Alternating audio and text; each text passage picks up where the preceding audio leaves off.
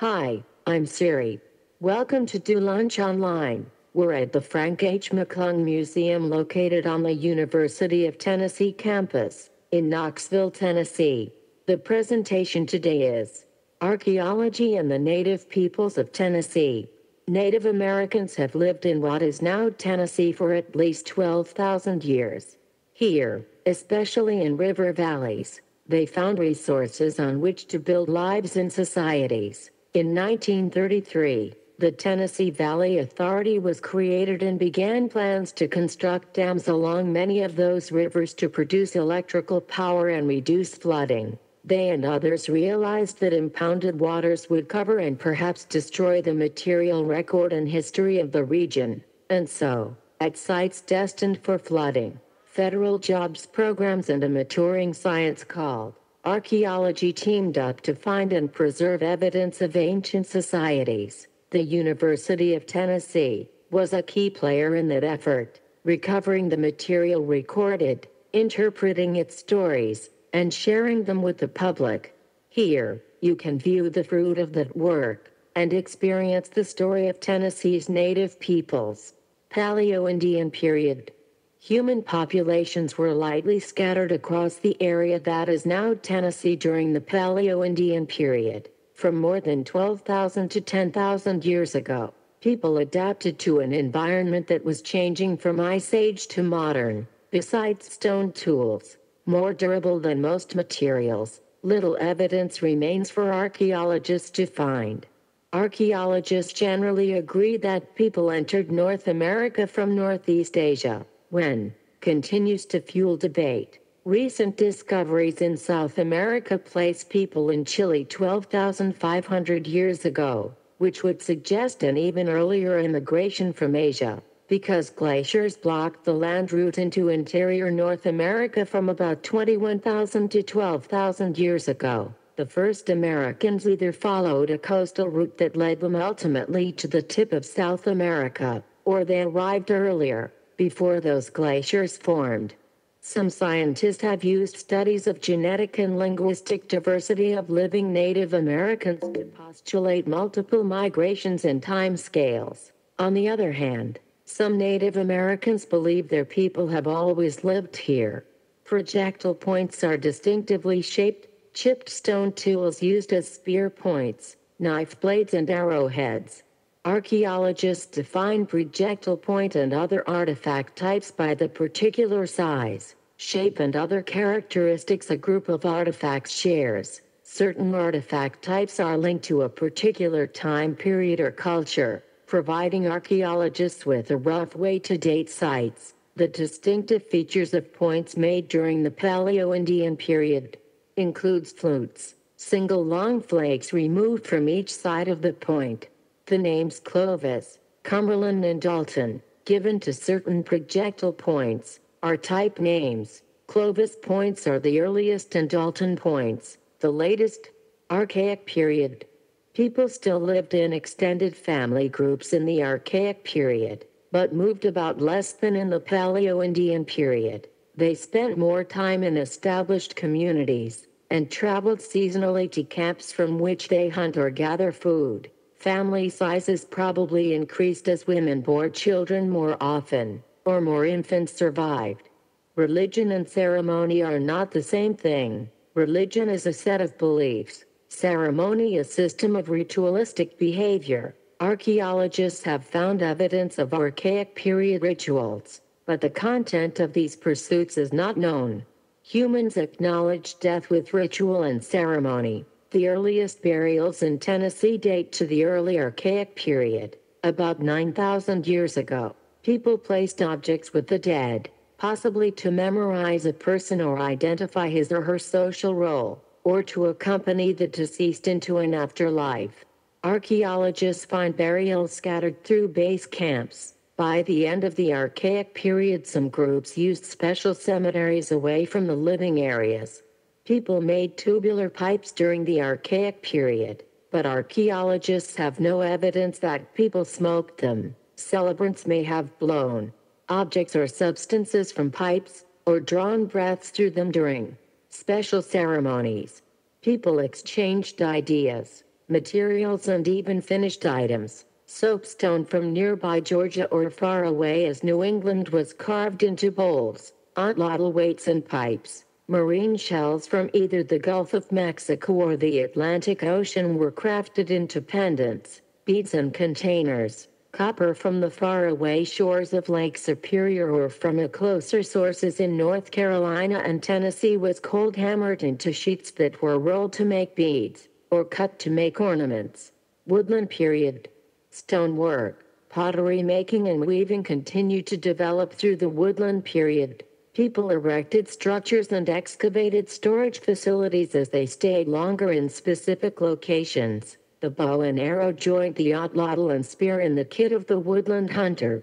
Trade involved economic exchange, gifts and favors. Although we are uncertain of the scale and schedule of woodland period trade, we do know that materials moved from one area to another, from one people to another, and among regions near and far. Some trade items were used in ritual and some constituted wealth and status. Pottery, initially appearing during the Archaic period, became common in the Woodland period. Everyday use of bulky and breakable ceramic vessels for cooking, eating and storing was possible because of the more settled lifestyle of the Woodland period. Woodland period people created pipes, effigies and adornments to connect them with their spiritual lives a connection we can appreciate even if we can't know the nature of their beliefs. They also built large earthworks, including ceremonial and burial mounds, which reflect aspects of their beliefs.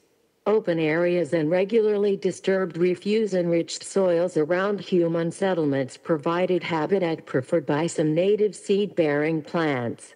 People protected and harvested them, and stored and replanted their seeds. Thus, the relationship between people and a limited number of food plants intensified. During the woodland period, people in Tennessee also began to cultivate maize, a native of Mexico.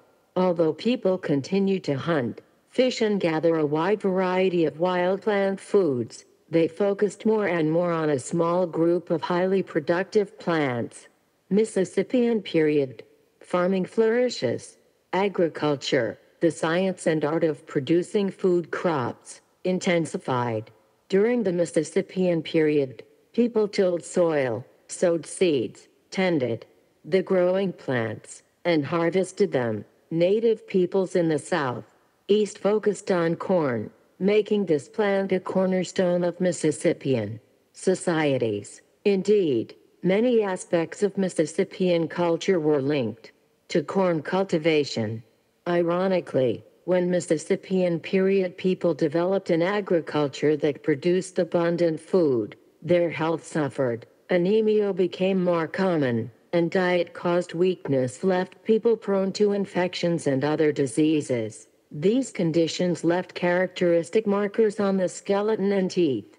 Complex settlement systems developed, focused on corn agriculture. Leaders emerged, Chiefs with power connected to spiritual sources are reinforced by ideology and special status objects. These chiefs presided over large populations and their economic, social, and religious activities. Status may have been inherited, probably along matrilineal lines. How do we know? Young people buried with elite items, long before they could have earned status on their own.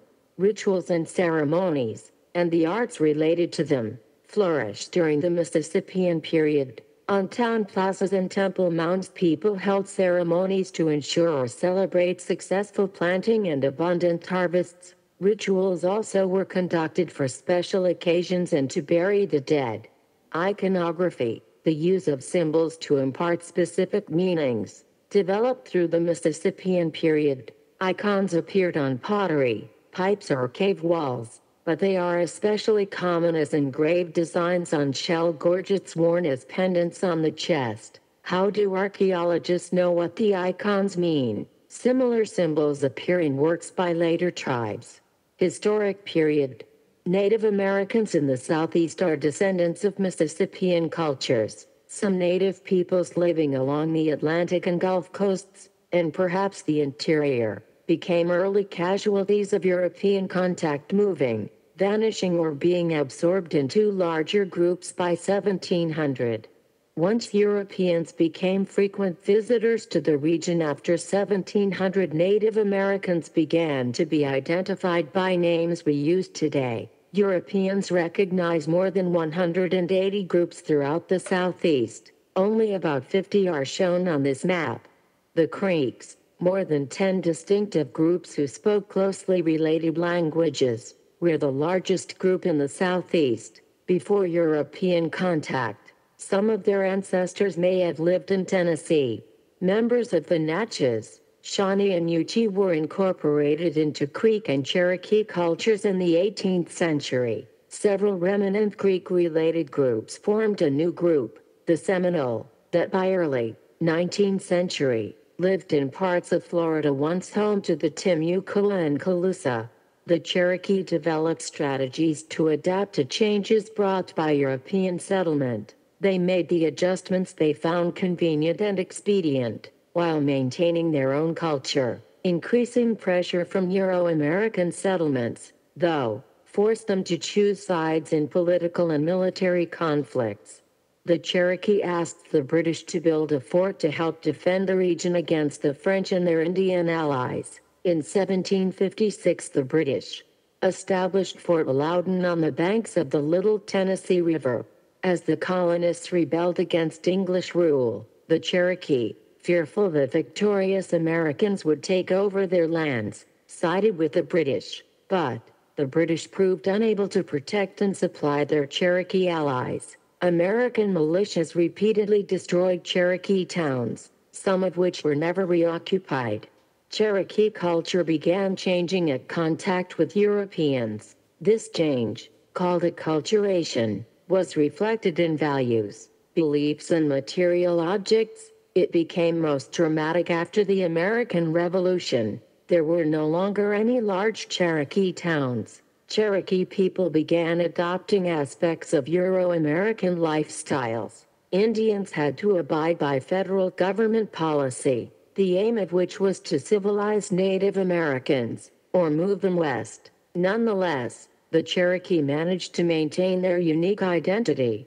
People in the Overhill Cherokee towns in Tennessee interacted with the British, French, and Spanish as European exploration and settlement moved west. Yet many Cherokee traditions remain intact in the colonial years.